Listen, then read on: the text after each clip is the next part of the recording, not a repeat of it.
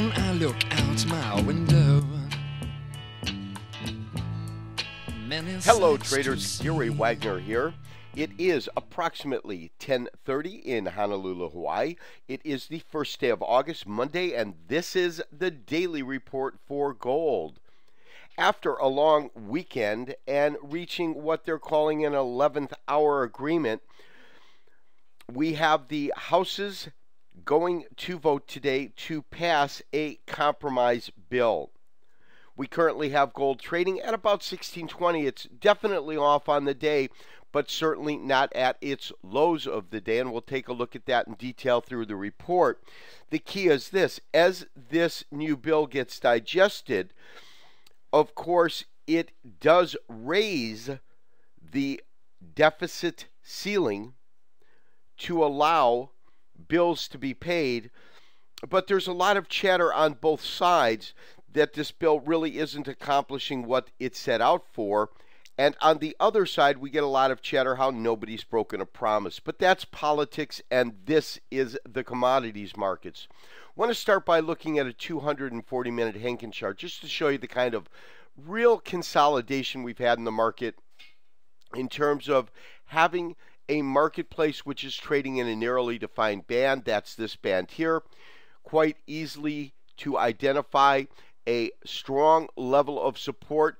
Last week's 1602 did hold. We have had a series of lows, but as you can see, these lows have been higher lows. This last low we got was above 1610. This just below 1610, call it 1608. So we are seeing a series of higher lows. We are also seeing a series of higher highs. Now, this is on our short term chart, but you can see these new highs that were made for new records in the market that are well above 1630. The sentiment out in the public is uncertainty still. The bill has not been passed. My question is with the bill, I believe, virtually guaranteed to pass because as I said this weekend and I as I've talked about really all week and last week I, to me they were simply p- playing chicken in that they will take it to the 11th hour to get everything they can and to use the best of their negotiating skills. That being said, I believe that the package that's come out, although I haven't been able to digest it as most Americans have, I believe is going to be quite full of holes on both sides in terms of desires and need. That is the reason I believe A, the market has really held pretty stable. We haven't seen a, a major dip in the market, that knee jerk reaction that was definitely possible. We are seeing higher highs, we are seeing lower lows, but I think it's the consolidation and this narrow band is telling us that we have a wait and see attitude.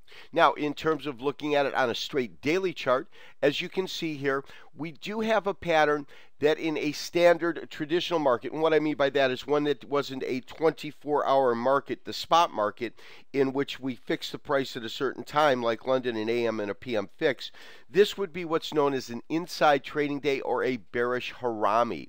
A bearish harami, in terms of straight reversal patterns, is one of the weaker reversal patterns rules of engagement, so to speak, on that. It must come in after a defined uptrend. We meet that criteria. Inside trading day, you simply have a close in the bearish harami that's above the open of the prior day and a open that's below but of course you have that fix that's why i'm saying it's as close as it can get a dark cloud cover would have to open above in the case of uh, spot market open at and then close at the midpoint or below so it almost might meet that criteria, but these would be considered very weak because the size of this inside trading day is showing uncertainty rather than showing the bearish faction having domination in the market. They are certainly certainly pushing the market down.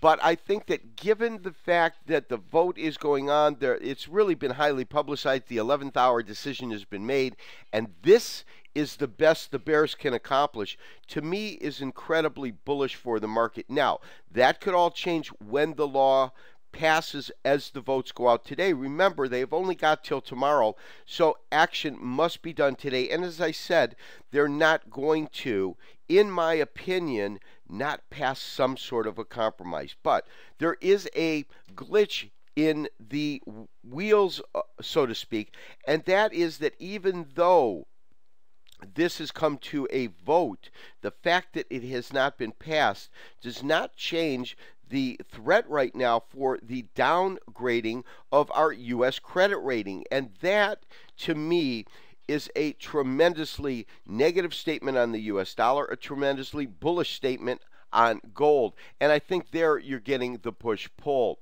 If we look at the weekly, of course, it's the first day of the week, so you just are seeing the same thing you would see as a daily candle up against the weekly candle. So we have really the, this candle has far from formed, but as you can see, it is red now. But we have the entire week to make it up. If this market recovers and goes back to these recent highs here, these all-time highs, you will get that candle turning green. So I'm not going to give too much credence to that.